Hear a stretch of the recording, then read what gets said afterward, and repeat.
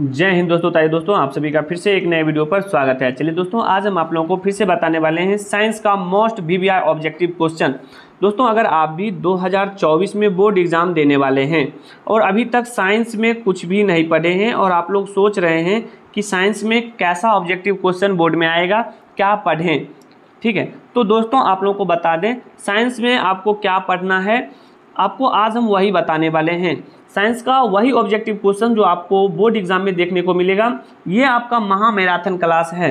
ये अगर इतना ऑब्जेक्टिव क्वेश्चन जितना आज हम आपको बताने वाले हैं, ये सारा ऑब्जेक्टिव अगर करके जाते हैं तो कमज़ोर से कमज़ोर स्टूडेंट भी इस बार बोर्ड में A to Z objective question को लहरा के आएगा, सारा क्वेश्चन बना के आएगा, और 95 परसेंट तो उसका पक्का हो जाएगा, ठीक है? दोस्तों साइंस में हम केवल वही बताते हैं जो आपको बोर्ड में पूछा जाएगा, ठीक है? बकवास का क्वेश्चन नहीं बताते हैं। बहुत सारा आपको वीडियो मिल जाएगा जहाँ पर आपको ढेर सारा क्वेश्चन कराया जाता है, लेकिन हमको उससे कोई मतलब नहीं है, ठीक है? हम आपको केवल वही बताएँगे जो आपको 2024 के बोर्ड एग्ज़ाम में आएगा, ठीक ना? तो कमज़ोर से कमज़ोर स्टूडेंट भी जुड़ जाइए और वीडियो को अपने दोस्तों में शेयर कर दीजिए, ठीक है? तो दोस्तों, ये हमारा अभी चल रहा है फिजिक्स का, ठीक है? ध्यान दीजिएगा, ये हमारा अभी चल रहा है फिजिक्स का ऑब्जेक्टिव क्वेश्चन। पूरे फिजिक्स का निचोड़ है। ये एक पैकेज है और इस पैकेज को हम बता रहे हैं। और आप लोग ईमानदारी से ये सारा क्वेश्चन पढ़ के जाइएगा तो एक भी क्वेश्चन बोर्ड के पेपर में छोड़कर नहीं आइएगा। भले आप लोग अभी तक कुछ भी नहीं पढ़े हो, कोई मतलब नहीं है, लेकिन अब जो बता रहे हैं वो सारा क्वेश्चन पढ़ के जाइए, ठीक है? सौ परसेंट मेरा गारंटी है कि बोर्ड में ये सारा क्वेश्चन आपको लड़ेगा ठीक ना? तो समय कम है और समय को देखते हुए सारा काम कीजिए जल्दबाजी में। ठीक ना? ये जितना भी ऑब्जेक्टिव क्वेश्चन है, आपको रटना नहीं है। वीडियो एक बार, दो बार देखिए, आपको ऑटोमेटिक ये सारा क्वेश्चन याद हो जाएगा। और नोमरिकल टाइप का जितना भी क्वेश्चन होगा नोमरिकल टाइप का, ठीक है, वो हम आपको अलग से एक वीडियो बना देंगे। उसको देख लीजिएगा, सारा डाउट क्लियर हो जाएगा, ठीक है? अभी फ़िलहाल जितना भी क्वेश्चन है, ये सारा अमृत है। एक बार पी लीजिए तो फिर देखिए कैसे अमर होके आइएगा बोर्ड एग्ज़ाम में, ठीक है? तो चलिए, डरना नहीं है, ये सारा क्वेश्चन आप लोग एक बार पढ़ के जाइए। तो चलिए, श्री गणेश करते हैं क्वेश्चन नंबर एक से। चलिए। पहला है कि किसी वोल्ट मीटर के स्केल पर ज़ीरो वोल्ट और एक वोल्ट के बीच बीस विभाजन चिन्ह है तो उस वोल्ट मीटर का अल्प मापांक है। तो उसका जो अल्प मापांक हो जाएगा, वो हो जाएगा हमारा option number B zero point zero five volt अब देखिए, यहाँ पे ये नोमरिकल टाइप का क्वेश्चन है और ऑब्जेक्टिव चूँकि यहाँ पर कुछ लेकर आए हैं ज़्यादा, चूँकि ये चैप्टर वाइज ये सारा ऑब्जेक्टिव जो है, ये निचोड़ है। तो यहाँ पर मान लीजिए, अभी हम आपको नोमरिकल कराएँगे तो वीडियो लंबा हो जाएगा।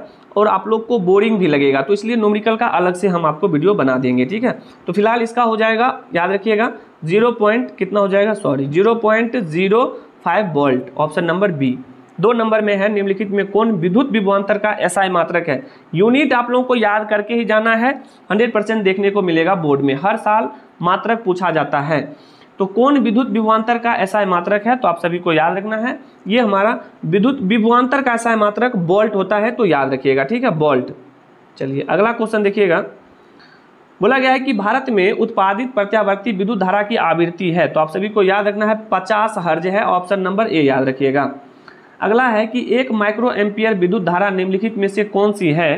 तो आप सभी को याद रखना है, एक माइक्रो एम्पियर जो होता है एक म्यू सी वो हमारा होता है टेन का पावर माइनस सिक्स एम्पियर तो ऑप्शन नंबर सी आपको याद रखना है, ठीक है? चलिए, आगे बढ़ते हैं दोस्तों। एक एक क्वेश्चन को पढ़ के जाइए। एक भी क्वेश्चन छोड़ना नहीं है, नहीं तो बाद में बहुत पछताइएगा, ठीक है? चलिए। जो ये महा मैराथन क्लास देखकर जाएगा, वही इस बार साइंस में 95 परसेंट लेकर आएगा टॉपर में उनका नाम होगा। एक भी ऑब्जेक्टिव क्वेश्चन नहीं छोड़ के आएगा। जो डर रहे ना, को ऑब्जेक्टिव क्या पूछेगा तो हम आपको, आप लोगों के लिए लेकर आएगा। आ गए हैं, ये सारा ऑब्जेक्टिव क्वेश्चन और यही आएगा, इससे बाहर कुछ नहीं आएगा, ठीक है? बुक का निचोड़ है तो अब बुक से बाहर क्या पूछ सकता है, आप लोग समझ सकते हैं। किलो वाट घंटा बराबर होता है तो आप सभी को याद रखना है, हज़ार यूनिट के ऑप्शन नंबर बी अगला है question number six one H P यानी कि वन अश्व शक्ति बराबर होता है तो आप सभी को याद रखना, ये होता है सात सौ छियालीस वाट ऑप्शन नंबर आपका हो जाएगा ए ठीक है? सात सौ छियालीस वाट क्लियर आइए, अगला क्वेश्चन देखिएगा। क्वेश्चन नंबर हो जाएगा सेवन। बोला गया है कि धारा मापने में किसका उपयोग होता है? तो आप सभी को याद रखना है, धारा मापने में ये हमारा होता है एमीटर का ऑप्शन नंबर ए प्रतिरोध का एसआई मात्रक, ओम होता है दोस्तों, प्रतिरोध का एसआई मात्रक, ओम होता है ऑप्शन नंबर बी याद रखिएगा, ठीक है? प्रतिरोध का एसआई मात्रक, ओम होता है क्लियर आ जाएँगे आगे। अगला क्वेश्चन देखिएगा। क्वेश्चन नंबर नौ है आपके सामने। एक बोल्ट क्या कहलाता है? एक बोल्ट क्या कहलाता है दोस्तों? ये कहलाता है एक जूल पर गुलाम। ऑप्शन नंबर बी हो जाएगा। और दोस्तों, किसी भी क्वेश्चन का आंसर पता है, पता हो तो कमेंट बॉक्स में ज़रूर कमेंट कीजिएगा, ताकि जब हम कमेंट बॉक्स को पढ़ें तो देखना चाहते हैं कितना आप लोग का सही हुआ है, ठीक है? चलिए, अगला है कि विद्युत शक्ति का ऐसा मात्रक क्या होता है? विद्युत शक्ति का ऐसा मात्रक क्या होता है? तो आप सभी को याद रखना है, ये हमारा वाट होता है। अब जिसके अंदर शक्ति होगा, वो तो किसी का भी वाट लगा देगा, ठीक है? हाँ तो इस तरह से याद रखना है। आइए, अगला क्वेश्चन देखिए। आवेश का ऐसा मात्रक दोस्तों, जिसके अंदर आवेश आ जाता है।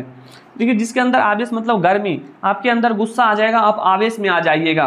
तो कोई आपका दोस्त होगा तो आपको बोलेगा, भाई साहब कूल हो जाओ, मेरे प्यारे दोस्त कूल हो जाओ ना कूल हो जाओ ना, बाद में देख लेंगे इसको।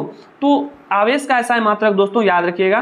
कूल मतलब होता है गुलाम तो ऑप्शन नंबर डी याद रखिएगा। लॉजिक से हम याद करवाएँगे, दोस्तों ऐसा मात्रक, ठीक है? भूलिएगा नहीं। चलिए। अगला है आपके सामने। आवेश का ऐसा मात्रक। हाँ गुलाम होता है, ठीक है? चलिए, अगला है कि कौन विद्युत का सर्वोत्तम सुचालक है? तो विद्युत का सर्वोत्तम सुचालक जो होता है वो ए एल एल मतलब एल्बुनियम होता है तो ऑप्शन नंबर सी याद रखिएगा, ठीक है? हाँ तो आइए आगे बढ़ते हैं। क्वेश्चन नंबर तेरह को देखिएगा। क्वेश्चन नंबर तेरह आपके सामने है कि विभवांतर मापने वाले यंत्र को क्या कहा जाता है? तो इसको कहा जाता है, दोस्तों वोल्ट मीटर ठीक है? Option number B. आमीटर को विद्युत परिपथ में कैसे जोड़ा जाता है? तो आप सभी को याद रखना है श्रेणी क्रम में जोड़ा जाता है। आमीटर को और वोल्ट मीटर को वोल्ट मीटर को समांतर क्रम में, ठीक है? याद रखिएगा। आमीटर को, यहाँ पर देखिए आमीटर दिया गया तो आमीटर को विद्युत परिपथ में कैसे जोड़ा जाता है? तो श्रेणी क्रम में, ठीक है? और यहीं पर वोल्ट मीटर रहता तो आपको समांतर क्रम लगाना था, ठीक ना? तो आइए आगे बढ़ते हैं। चलिए, क्वेश्चन नंबर पंद्रह है। एक गुलाम विद्युत आवेश कितने प्रोटॉन से बनता है? काफ़ी इंपॉर्टेंट है। आप सभी को याद रखना है, ये हमारा हो जाएगा। देखिए ऑप्शन पर जो है ना, यहाँ पर थोड़ा मिसप्रिंट किया गया है फ़िलहाल। इसका जो बिल्कुल राइट आंसर होगा कि एक गुलाम विद्युत आवेश कितने प्रोटॉन से बनता है? तो ये हमारा हो जाएगा ऑप्शन बी सी उल्टा हो गया है। तो ये हमारा हो जाएगा option number B six point two five गुना दस के पावर अठारह। देखिए बी के जगह पर सी आ गया है सी के जगह पर बी आ गया है, ठीक है? तो इस तरह से आप लोगों को कन्फ्यूज़ नहीं होना है। याद रखिएगा सिक्स पॉइंट टू फाइव गुने दस का पावर अठारह होता है, ठीक ना? हाँ तो आगे आइएगा मेरे प्यारे दोस्तों। अगला क्वेश्चन है, किसी चालक के छोरों के बीच विभवान्तर भी प्रतिरोध आर एवं प्रत्यावर्ती धारा आई के बीच संबंध है। तो आप जानते हैं भी बराबर क्या होता है? आई आर ठीक है? या यहाँ पर देख लीजिए, इसका बिल्कुल राइट आंसर हो जाएगा। ये हो जाएगा। हम उसे तो बताए थे कि भी बराबर होता है आई आर तो अगर आर का मान निकालना है तो भी बट्टे आई आ जाएगा। तो देख लीजिए इस तरह का ऑप्शन ऑप्शन नंबर सी में दिया गया है, ठीक ना? तो देखिए, ये क्वेश्चन काफ़ी इंपॉर्टेंट है। इससे नोमरिकल भी बनता है। ये फॉर्मूला याद रखिएगा भी बराबर आई आर चलिए, अगला क्वेश्चन है, सत्रह नंबर है।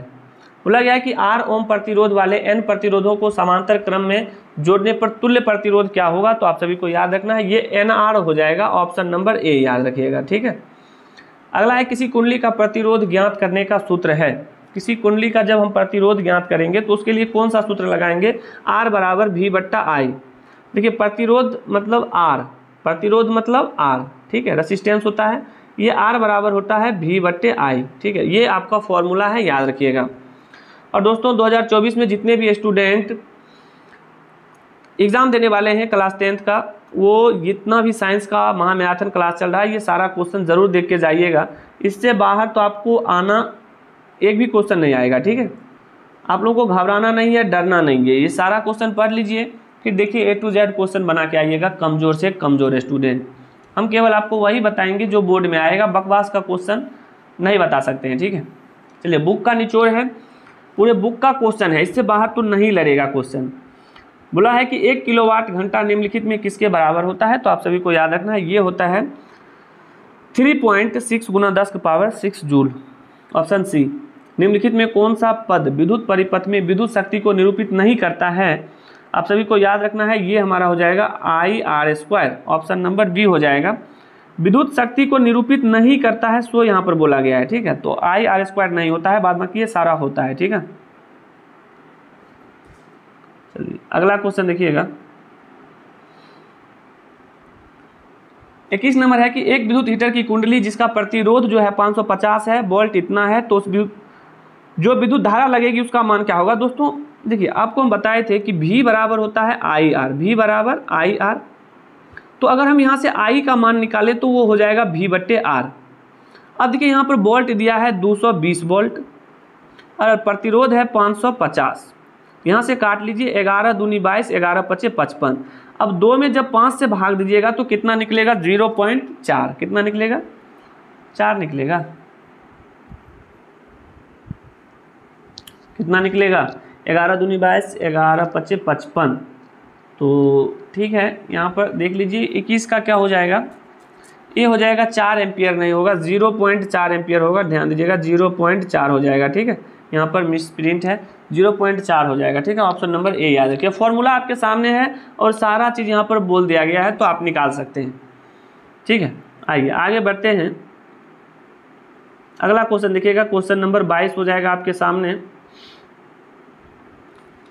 चलिए, बाईस नंबर क्वेश्चन को देखिएगा। बोला गया कि किसी बल्ब से, देखिए, ये सब न्यूमेरिकल टाइप का क्वेश्चन ये सारा क्वेश्चन हम आपको अलग से बताएँगे।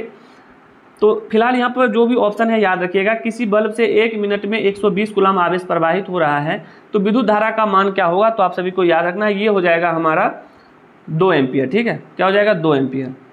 अगला है तेईस नंबर। तेईस नंबर को देखिएगा। बोला गया है कि किसी बल्ब से 220 वोल्ट पर दो एम्पियर धारा प्रवाहित होती है, फिलामेंट का प्रतिरोध क्या होगा? तो देखिए, इसका जो राइट आंसर हो जाएगा, वो हमारा हो जाएगा तेईस का 220 ओम हो जाएगा। कितना हो जाएगा? 220 ओम हो जाएगा, ठीक है? ऑप्शन नंबर सी हो जाएगा, ठीक है? चलिए। अगला क्वेश्चन देखिएगा। सारा क्वेश्चन बुक से लिया गया है, सारा बुक का निचोड़ है, महामेराथन है। इसको पढ़ने के अलावा, ये पढ़ लीजिए, इसके बाद आप कुछ भी नहीं पढ़िए, ठीक है?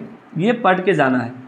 किसी विद्युत बल्ब पर 220 वोल्ट तथा 100 वाट अंकित है। जब इसे 110 वोल्ट पर प्रचालित करते हैं, तब इसके द्वारा उपभुक्त शक्ति कितनी होती है तो आप सभी को याद रखना है। ये होता है 25 वाट होता है और इस तरह का ऑप्शन ऑप्शन नंबर डी में दिया गया तो ऑप्शन नंबर डी आपका बिल्कुल राइट आंसर हो जाएगा, ठीक ना? चलिए, आगे बढ़ते हैं। क्वेश्चन नंबर पच्चीस को देखिएगा। बोला गया है कि विद्युत बल्ब में फिलामेंट तार जो है, वो बना होता है किसका?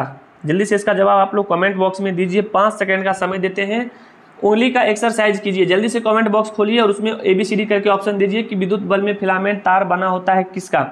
तो किसका बना होता है? टंगस्टन का बना होता है। ठीक है, चलिए। अगला क्वेश्चन देखिएगा। क्वेश्चन नंबर छब्बीस है। किसी चालक के प्रतिरोधकता का मात्रक क्या होता है? तो आप सभी को याद रखना है। चालक के प्रतिरोधकता का जो एसआई मात्रक होता है, वो होता है हमारा ओम मीटर। ठीक है, क्या होता है? Ohmmeter option number B clear? आइए। वीडियो देखिए, सुनिए, याद हो जाएगा। आपको रटना नहीं है, लिखना नहीं है, ठीक ना? बस 10 से 15 मिनट 15 से 20 मिनट वीडियो को देख लीजिए। साइंस में आप जितना कमज़ोर हैं, उससे चार गुना ज़्यादा स्ट्रांग हो जाइएगा। ऑब्जेक्टिव अगर एग्ज़ाम में बनाकर आते हैं तो आपको अच्छा नंबर आएगा, ठीक ना? चलिए। ये सारा क्वेश्चन आ ही जाएगा, आप लोग पढ़ के जाइए, ठीक ना? विद्युत फ्यूज विद्युत धारा के किस प्रभाव पर कार्य करता है? आप सभी को याद रखना है उसमें प्रभाव पर। 100 वाट 220 वोल्ट के विद्युत बल्ब के तंतु का प्रतिरोध क्या होगा? तो 100 यहाँ, ठीक है? तो इसका जो बिल्कुल राइट आंसर हो जाएगा, वो आपका हो जाएगा अड़तालीस सौ बयालीस ओम। क्या हो जाएगा? अड़तालीस सौ बयालीस ओम। चलिए, अगला क्वेश्चन है। उनतीस नंबर की 100 वाट का विद्युत बल्ब 250 वोल्ट की विद्युत मेन से जोड़ा जाता है। तो बल्ब से प्रवाहित धारा का मान क्या होगा? बल्ब से प्रवाहित धारा का मान पूछ रहा है धारा, यानी कि धारा का एसआई मात्रक क्या होता है? तो कमेंट बॉक्स में बताइएगा धारा का एसआई मात्रक। तो इसका बिल्कुल राइट आंसर जो हो जाएगा, वो हमारा हो जाएगा ज़ीरो पॉइंट चार एम्पियर। कितना हो जाएगा ज़ीरो पॉइंट देखिए, ये क्वेश्चन जो है ना, हम आपको पहले बताए थे कि सारा चीज़ यहाँ पर दिया गया है। 100 वाट का विद्युत बल्ब है 220 वोल्ट के विद्युत मेन से जोड़ा जाता है। प्रवाहित धारा का मान क्या होगा? हाँ ठीक है ज़ीरो पॉइंट चार एम्पियर। तीस नंबर क्वेश्चन है आपके सामने। जब किसी चालक तार से विद्युत धारा प्रवाहित होती है तो गतिशील कण होते हैं, इलेक्ट्रॉन होते हैं। दोस्तों, याद रखिएगा, इलेक्ट्रॉन, ऑप्शन नंबर डी को टिक करना है, ऑप्शन नंबर डी इलेक्ट्रॉन, ठीक है? चलिए। अगला क्वेश्चन देखिएगा, क्वेश्चन नंबर इकतीस है आपके सामने।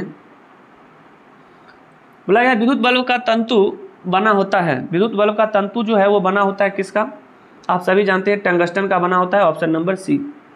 अगला देखिएगा बत्तीस नंबर क्वेश्चन है विद्युत वाहक बल किस यंत्र से मापा जाता है? विद्युत वाहक बल किस यंत्र से मापा जाता है? बोल्ट मीटर से, दोस्तों याद रखिएगा, ऑप्शन नंबर सी हो जाएगा। निम्नलिखित पदार्थ में कौन चालक है? कौन चालक है? एल्युमिनियम हमारा क्या है? चालक है, जिसमें हम धारा को प्रवाहित कर सकते हैं, उसको चालक कहते हैं। अगला क्वेश्चन देखिएगा। चौंतीस नंबर, एकांक धनावेश को दो बिंदुओं के बीच स्थानांतरित करने में जो कार्य करना पड़ता है, वह निम्नलिखित में किसका मापक है? आप सभी को याद रखना है, वो मापक होता है विभवान्तर का, ठीक है? ऑप्शन नंबर बी आपका बिल्कुल राइट आंसर होगा। पैंतीस में है कि जब किसी तार में विद्युत धारा प्रवाहित होती है, तब गतिशील कण होते हैं। गतिशील कण क्या होते हैं? इलेक्ट्रॉन होते हैं दोस्तों। चलिए, इससे पहले भी हम आपको बताए थे ऑप्शन नंबर डी को टिक करना है, ठीक है? चलिए, आगे बढ़ते हैं दोस्तों। देखिए, वीडियो लंबा नहीं हो जाए, इसलिए सभी सब्जेक्ट का हमको महामैराथन करवाना है। पूरे बुक का निचोड़ बोर्ड एग्ज़ाम में 100 परसेंट लड़ने वाला क्वेश्चन करवाएँगे पूरे सब्जेक्ट का। ए टू जेड सब्जेक्ट का करवाएँगे। इसीलिए सारा क्वेश्चन जल्दी जल्दी पढ़िए और याद कीजिए, समय कम है। प्रैक्टिस करते रहिए। रोज़ रोज़ इस वीडियो को देखिए और याद कीजिए। सारा क्वेश्चन एग्ज़ाम तक अगर याद करते हैं तो एक भी क्वेश्चन छोड़ के नहीं आइएगा। जब किसी तार में विद्युत धारा प्रवाहित होती है, तब गतिशील कण होते हैं। तो गतिशील कण हमारे इलेक्ट्रॉन होते हैं। ऑप्शन नंबर डी याद रखिएगा, ठीक है? अगला है कि चालक से होने वाले आवेश के प्रवाह को क्या कहते हैं? तो उसको कहते हैं धारा विद्युत या विद्युत धारा, ठीक है?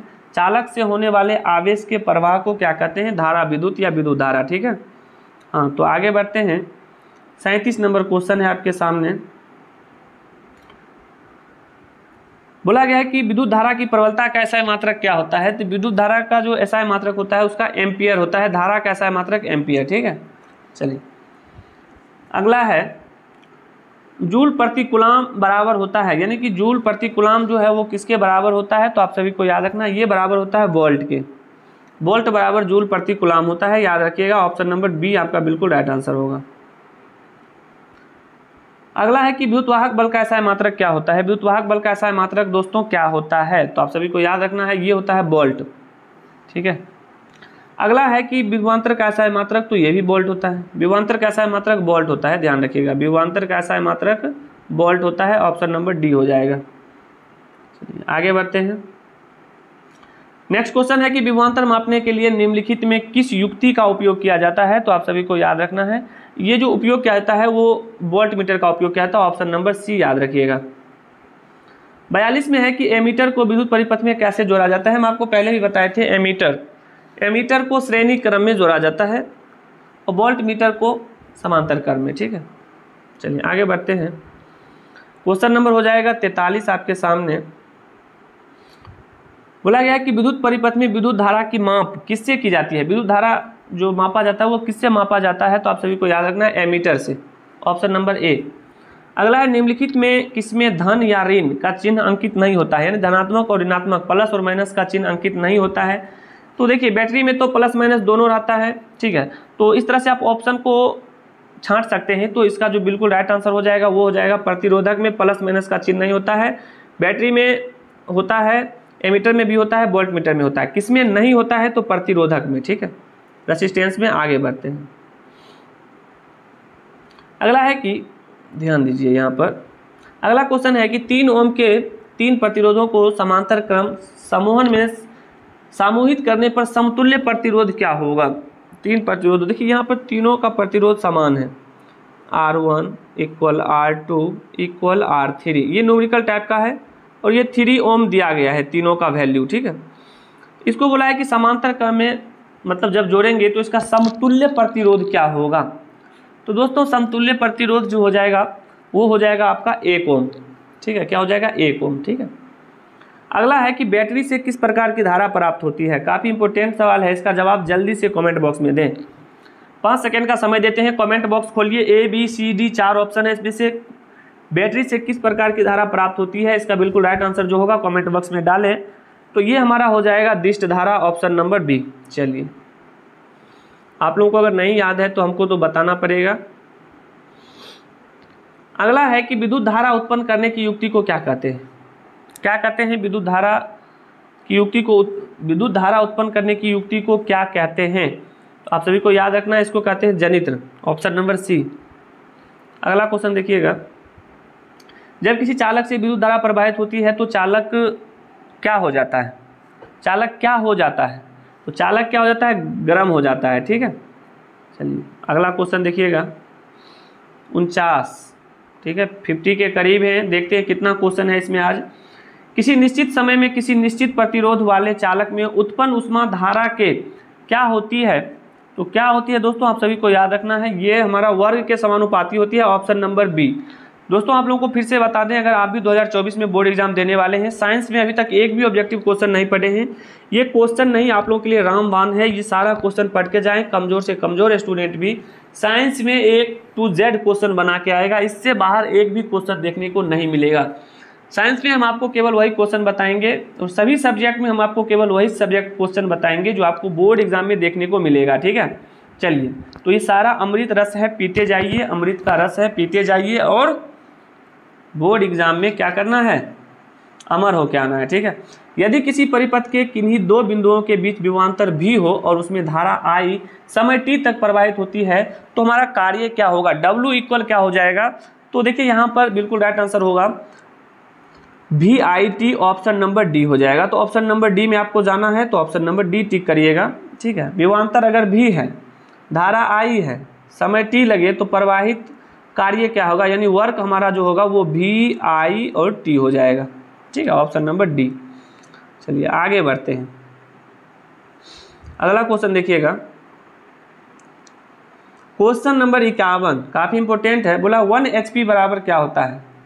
हॉर्स पावर होता है अश्वशक्ति होता है, वन एच पी बराबर सात सौ छियालीस वाट होता है, ये क्वेश्चन हम आपको पीछे भी करवाए थे। किलो वाट घंटा मात्रक है किसका है? किलो वाट घंटा मात्रक है किसका है? विद्युत ऊर्जा का है। ऑप्शन नंबर सी को टिक करिएगा, ठीक है? क्वेश्चन, देखिए देखिए और सुनिए, याद हो जाएगा, नहीं रटना है, ना ही लिखना है, ठीक है? मोबाइल में देखते रहिए 20 से 25 मिनट देखिए, आज देखिए, फिर कल देखिए, दो से तीन दिन देखिए देखिए, अगला दिन आपको सारा क्वेश्चन याद हो जाएगा।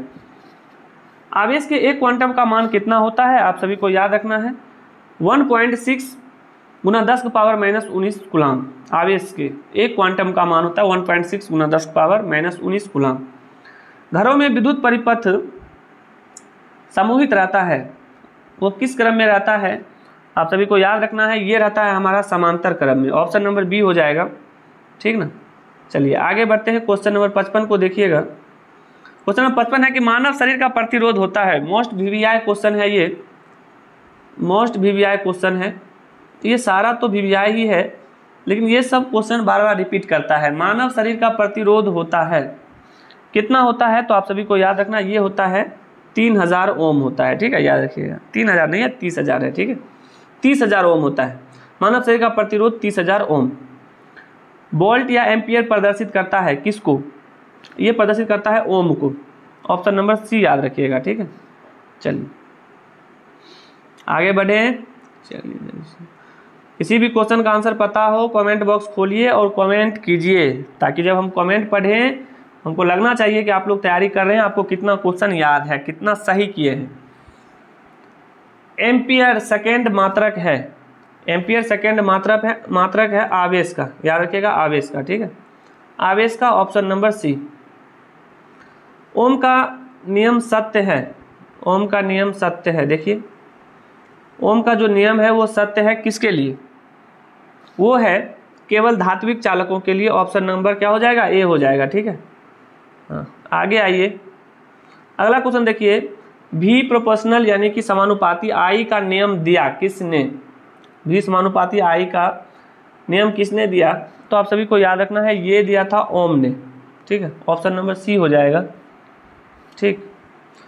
ओम के नियम का सूत्र क्या होता है? ओम के नियम का सूत्र क्या होता है? ये होता है भी बराबर I R, option number C. हम आपको पहले ही बताए थे भी बराबर आई आर। ठीक है, ये हमारा होता है ओम का नियम। याद रखिएगा, या ओम का नियम का सूत्र होता है ये भी बराबर आई आर।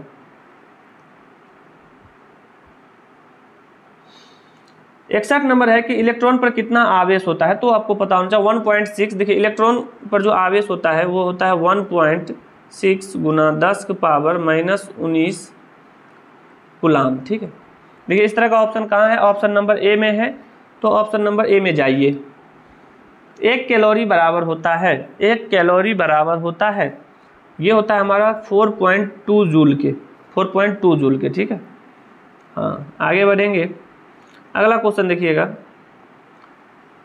अगला है तिरसठ नंबर। बोला है, किसी परिपथ का वह गुण जो विद्युत ऊर्जा को उष्मा में बदल देता है, क्या कहा जाता है? उसको कहा जाता है प्रतिरोध। क्या कहा जाता है? प्रतिरोध कहा जाता है, याद रखिएगा, ठीक है? दोस्तों, ये सारा क्वेश्चन आप लोगों के लिए इतना इम्पोर्टेंट है, जितना कि आप बोर्ड एग्ज़ाम में जो क्वेश्चन पूछा जाता है, उतना वो सारा क्वेश्चन, ये क्वेश्चन पढ़िए, सारा बन जाएगा, ठीक है? चौसठ नंबर क्वेश्चन देखिएगा। बोला निम्नलिखित में कौन सा मात्रक वाट के बराबर नहीं है? ध्यान दीजिएगा नहीं पूछ रहा है, ठीक है तो नहीं है यहाँ पर भी स्क्वायर ओम ये नहीं होता है। विद्युत हीटर में तार की कुंडी के लिए जिस तत्व का व्यवहार किया जाता है, वह हमारा क्या है? चलिए, जवानों, चलिए, शेर शेरनी सब जग जाइए, जल्दी से समय कम है, लग जाइए, महामेराथन क्लास में देखते हैं कितना आप लोग याद किया। अगर पढ़े हैं तो ये सारा क्वेश्चन आप लोगों का टेस्ट हो रहा है, और जो नहीं पढ़े हैं, उसके लिए काफ़ी इंपॉर्टेंट है, पढ़ लीजिए सारा क्वेश्चन। इससे बाहर नहीं आएगा नहीं आएगा, ठीक है? चलिए, ये पूरे बुक का एन e का निचोड़ है ये। ध्यान दीजिएगा, निचोड़ है ये, निचोड़ समझ रहे ना, पूरे बुक से लिया गया है। विद्युत हीटर में तार की कुंडली के लिए जिस तत्व का व्यवहार किया जाता है, वह है। तो वो क्या है? वो हमारा नाइक्रोम होता है, इसमें कौन बड़ी बात है, याद रखिएगा। हम्म। छियासठ में है कि विद्युत बल्ब का तंतु बना होता है। तो विद्युत बल्ब का तंतु जो बना होता है, टंगस्टन का। बच्चा बच्चा को याद होगा और आपको भी याद होना चाहिए। सड़सठ। टंगस्टन निम्न में से किस ताप पर पिघलता है? देखिए, टंगस्टन जो है, वो किस ताप पर पिघलता है? तो आप सभी को याद रखना है, ये 3500 डिग्री सेल्सियस पर पिघलता है, ठीक है? ऑप्शन नंबर बी हो जाएगा, टंगस्टन। उसको 3500 डिग्री अगर सेल्सियस का ताप मिल जाएगा तो टंगस्टन पिघल जाएगा। किसी बल में एक मिनट में 120 गुलाम आवेश प्रवाहित होता है, विद्युत धारा का मान क्या होगा? देखिए, ये क्वेश्चन हम आपको तो पहले भी बताए थे, इसका हो जाएगा टू एम्पियर, हम आपको पीछे भी बताए थे, टू एम्पियर हो जाएगा, ठीक है? इसीलिए कह रहे हैं कि क्वेश्चन को बार बार पढ़िए तो वो क्वेश्चन आपको याद हो जाएगा। बोला गया है कि किसी बल्ब से 220 वोल्ट दो एम्पियर की धारा प्रवाहित होती है तो बल्ब के फिलामेंट का प्रतिरोध क्या होगा? काफ़ी इंपॉर्टेंट है। इसका बिल्कुल राइट आंसर होगा 1100 ठीक है? क्या हो जाएगा? 1100 चलिए, आगे बढ़ते हैं।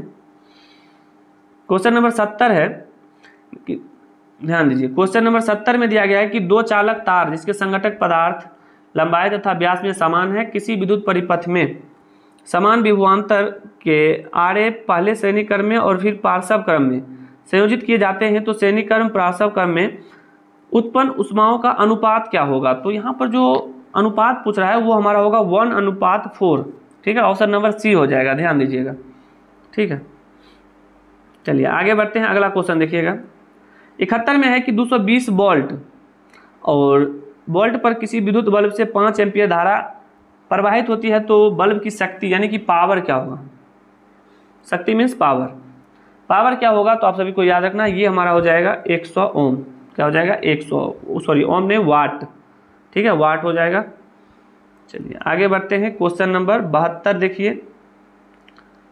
चलिए, देखिए, ये लास्ट ही क्वेश्चन होने वाला है। बोला 100 वाट का एक बल्ब 250 वोल्ट की विद्युत क्षेत्र में जोड़ा जाता है तो बल्ब से प्रवाहित धारा का मान, यानी कि आई का मान आपसे पूछ रहा है। तो बिल्कुल राइट आंसर हो जाएगा 0.4 एम्पियर ठीक है? 0.4 एम्पियर क्लियर हाँ आइए, अगला क्वेश्चन देखिएगा। अगला क्वेश्चन है क्वेश्चन नंबर तिहत्तर। बोला गया है कि किसी विद्युत बल्ब का अनुपातांक, यानी कि 220 वोल्ट अनुपात दिया है 100 वाट जब इसे 110 वोल्ट पर प्रचालित करते हैं, तब इसके द्वारा उपयुक्त उपभुक्त जो है शक्ति होगी। इसके द्वारा उपभुक्त मतलब जो शक्ति खपत होगा, वो कितना होगा? तो इसका बिल्कुल राइट आंसर होगा 25 वाट, ठीक है? याद रखिएगा ऑप्शन नंबर डी। चौहत्तर में है कि किसी कुंडली का प्रतिरोध ज्ञात करने का सूत्र है। तो कुंडली में प्रतिरोध ज्ञात करने का सूत्र क्या होता है? तो वो आर बराबर भी बट्टा आई होता है। और क्या होगा? आपको याद रखना है ऑप्शन नंबर सी आर बराबर भी आई बट्टा भी आई बट्टा भी हाँ। अगला क्वेश्चन है, किसी विद्युत बल्ब का अनुपात दिया है कि 220 वोल्ट और 100 वाट है 110 वोल्ट पर प्रचालित करते हैं तो इसके द्वारा उपयुक्त शक्ति कितनी होगी? कितनी होगी दोस्तों? आप सभी को याद रखना है 25 वाट चलिए, ये क्वेश्चन बार बार रिपीट हुआ है, इससे आप लोगों को याद भी हो गया होगा सही ढंग से।